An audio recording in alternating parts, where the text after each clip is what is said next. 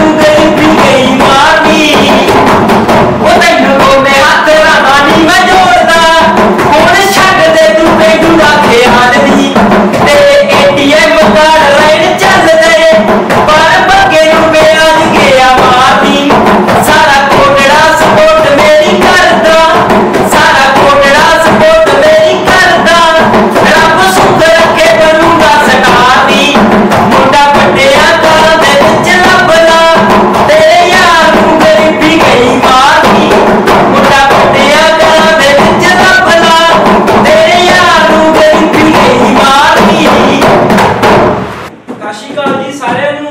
ਜੇ ਚੰਗਾ ਲੱਗਿਆ ਤਾਂ ਸ਼ੇਅਰ ਕਰ ਦਿਓ। ਜੇ ਨਹੀਂ ਵਧੀਆ ਲੱਗੂ ਵੀਰੇ ਡਿਲੀਟ ਕਰ ਦਿਓ। ਪਰ ਗਾਲ ਨਹੀਂ ਕੱਢੇ